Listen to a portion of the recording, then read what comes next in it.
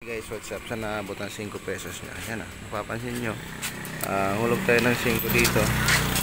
Tapos, dito na. Ito na, Ah, ito na yung 5 mga kapatid. Ito yung ah, sinasabi ko na karo 5. Meron na dito sa bahay, sa San Pascual, uh, Libo Nalpa. Ayan. Talagang tanggal lahat ng mga ano dito.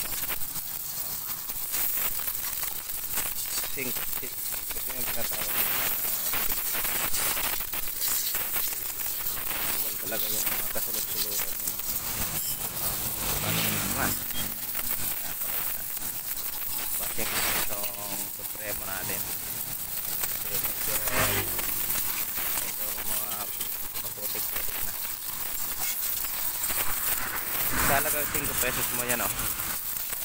Talagang satisfy ka na dito ah, ah putik na tanggal na yung sticker oh. Ayun oh. Lakas talaga oh. Kanina mag medyo putik putik ito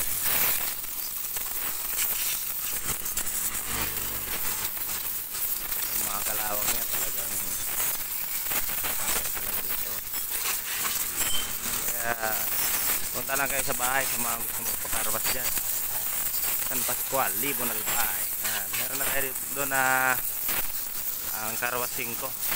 Nasa 3 minutes din to eh. Yan, napakalupit. Basic lang yung may pahinaan din to, may palagasan.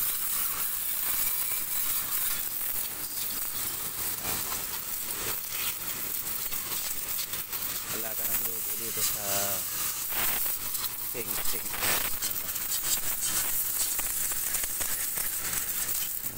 Ayan.